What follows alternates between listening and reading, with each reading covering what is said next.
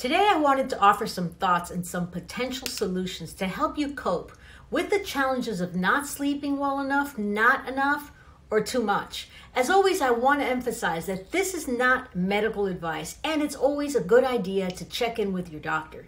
We have them for a reason, and they are as much a part of the spiritual path as any healer out there, including myself. Number one, intense energy shifts. Since a real spiritual awakening comes with a dramatic shift in the inner energy flow, intense energy shifts are common and can be expected during the initial phase of transition.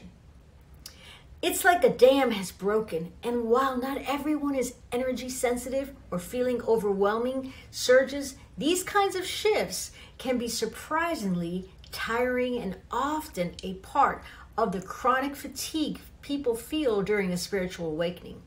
It's as if every issue inside feels like it's being worked on all at once.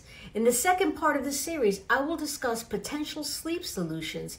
Follow for more Love and Light.